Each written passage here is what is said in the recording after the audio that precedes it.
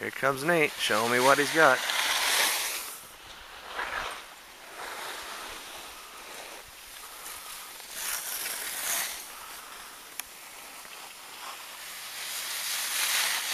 we gotta get this guy's YouTube account.